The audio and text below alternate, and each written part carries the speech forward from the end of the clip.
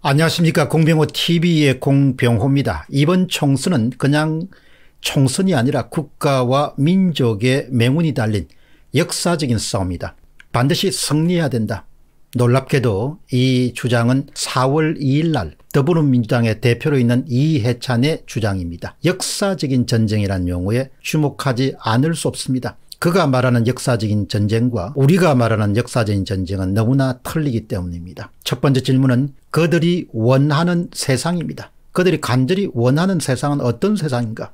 그가 원하는 세상이 어떤 세상인지 이해찬 대표는 내놓고 이야기한 적이 없습니다. 그들이 원하는 세상은 자법 수준의 조국이 무죄가 돼야 되고 한 걸음 나아가 대통령이 돼야 한다는 몰상식과 무법과 탈법과 불법이 활개치는 세상을 말하는지 도무지 종을 잡을 수가 없습니다.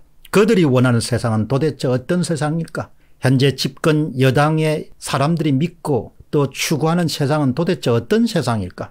그들이 그동안 해온 다양한 선택을 보면 결국 경제는 사회주의 경제 쪽으로 한층 가까이 갈 수 있을 것이고 정권 성격은 민간의 힘을 빼앗아서 정치와 간이 엄청난 권력을 소유하는 좌파 독재에 가까운 쪽으로 한층 다가설 가능성이 높습니다. 한마디로 지난 70여 년 동안 한국인들이 누려온 번영의 기틀이 자유사회를 크게 변질시키는 체제 변혁에 해당될 것입니다. 그런 점에서 보면 이해찬 대표의 지적은 부분적으로 옳습니다. 이번 총선은 그냥 총선이 아니라 국가와 민족의 맹운이 달린 역사적 싸움이다. 그들은 사회주의 길로 우리는 자유주의의 길로 그들은 노예의 길로 우리는 자유의 길을 가기를 원합니다. 이렇게 완전히 다릅니다. 그들과 우리는 여기서 그들은 집권 여당입니다. 우리는 이 땅에서 양식 있고 상식 있는 열심히 사는 보통 사람들입니다. 그들은 가난의 길로 이끕니다. 우리는 번영의 길로 그들은 친북과 친중의 길로 가기를 소망합니다. 우리는 친미의 길과 일본과의 정상적인 그런 관계를 맺기를 원합니다. 그들은 좌파 독재의 길을 원합니다. 우리는 민주 자유의 길을 원합니다. 그들은 반문명의 길로 달려가기를 원합니다. 우리는 문명의 길로 가기를 원합니다.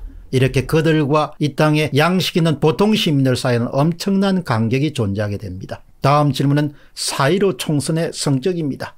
4.15 총선이 체제의 변혁을 가져올 수 있는 그런 중차대한 선거라는 주장에 대해서 이 방송을 듣는 분들 가운데 의문문을 가진 분들이 들어 있을 것입니다. 지식경제부 장관을 지냈던 최중경 박사 현재 공인회계사 회장입니다. 최중경 전 장관이 4월 6일 날 매일경제신문에 국가 정체성을 결정할 4.15 총선이라는 제목의 글을 기고했습니다. 그는 4.15 총선이 단순히 지역구 국회의원을 뽑는 선거가 아니라 나라의 정체성을 결정하는 선거가 될 것임을 정확하게 지적하고 있습니다. 그의 칼럼을 바탕으로 해서 어떤 문제인식을 갖고 있는지를 살펴보겠습니다. 최중경 주장입니다. 4.15 총선에 선출된 국회의원은 사회주의 개헌을 추진한 자유시장 경제를 송두릴 때 부정할 수도 있고 반대로 법률을 제정해서 문재인 정권의 사회주의 성향 경제정책을 견제할 수도 있다. 국회의원은 국정감사, 국정조사 권한과 함께 정부 규정 심사 권한이 있기 때문에 경제 관료들에게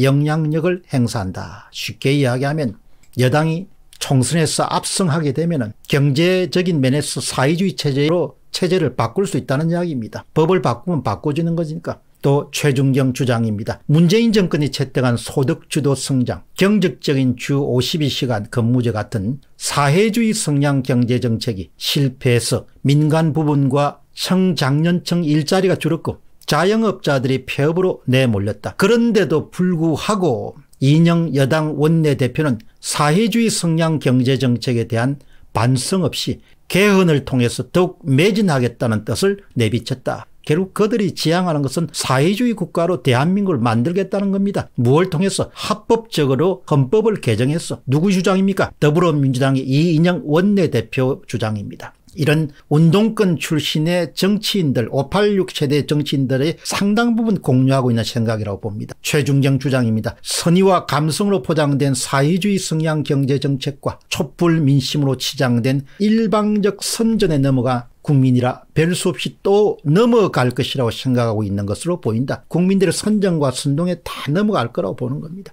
중국과 베트남 같은 사회주의 국가들조차 자유시장 경제를 적극 받아들이고 있는데 자유시장 경제와 더 먼 거리를 두려는 집권 세력의 의도가 무엇인지 의심스럽다. 그들의 의도가 무엇인지 의심스러운 겁니다. 그들이 왜 친중의 길, 친북의 길을 가려고 하는지 의도를 도대체 알 수가 없는 거죠. 양식 있는 보통 사람들은.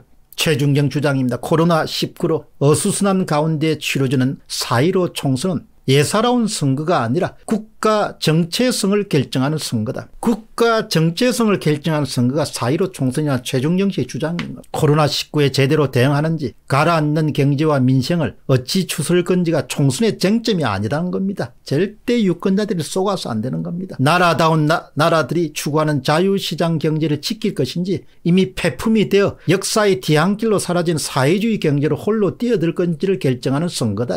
체제를 결정하는 선거다. 체제 전쟁이다. 문재인 정권은 출범 직후부터 사회주의 냄새가 짙게 풍기는 개헌을 추진한 바가 있고 연동형 비례대표제로 공들인 4.15 총선 승리를 바로 결정적인 시기인 D-Day로 잡고 있다. 유감스럽게도 지금을 기준으로 보면 그들의 야망이 더 힘을 얻는 기세입니다. 선전과 선동이 먹혀 들어가서 좀 어려운 상황입니다. 따라서 자유시민들이 좀 더 분발해야 될 이유가 있습니다. 마지막 질문은 우리가 알아야 할 일입니다. 4.15 청소는 국가 명운을 가르는 체제전쟁입니다. 자유사회를 지탱할 것인지 준사회주의 체제를 지향할 것인지 사회주의 경제체제로 갈 것인지 그들의 이기면 그들은 거대 정부를 신념을 계속 밀어붙일 것입니다. 결국은 법률 개정과 헌법 개정으로 사회주의 길이자 준 전체주의 길 좌파 독재의 길로 이 나라를 더욱 세게 밀어붙일 것으로 봅니다. 여러분은 사회주의 길로 이 나라가 가기를 원하십니까 이것을 자신에게 물어보셔야 될 것입니다. 저는 저 생애를 통해서는 단 한 번도 공식적으로 특정 정당을 지지한 적은 없습니다. 그러나 이번에는 최선이 아니라 차선으로 차선이 아니라 3선으로 2번 미래통합당과 4번 미래한국당을 공개적으로 지지하면서 여러분의 동참을 호소합니다. 왜 그렇게 제가 공개적으로 지지하는가 대한민국이 사회주의 길로 가는 것을 막아야 되기 때문입니다. 대한민국이 준전체주의 체제로 가는 것을 막아야 되기 때문입니다. 대한민국이 좌파 독재의 길로 달려간 것을 막아야 되는 겁니다. 대한민국이 문재인 정권의 폭주와 독주로 달려가는 것을 막아야 되기 때문에 저는 2번과 4번을 여러분들에게 공개적으로 지지해 줄 것을 부탁드립니다. 공병호 TV의 공병호였습니다. 감사합니다.